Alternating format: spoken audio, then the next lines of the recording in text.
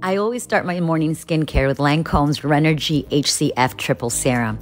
This serum makes life simpler because it's a 3 for 1, containing three potent ingredients hyaluronic acid, vitamin C plus niacinamide, and ferulic acid. I love using my favorite skincare tools to plump the skin as the texture of the serum is super lightweight and fast absorbing. You must give it a try. And guess what? It's currently on sale for $85 at the Nordstrom anniversary sale.